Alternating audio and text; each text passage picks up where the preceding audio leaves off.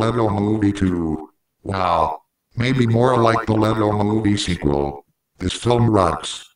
This movie takes place after the first Lego movie, which was released in 2014. My favorite character throughout the film was Sweet Mayhem.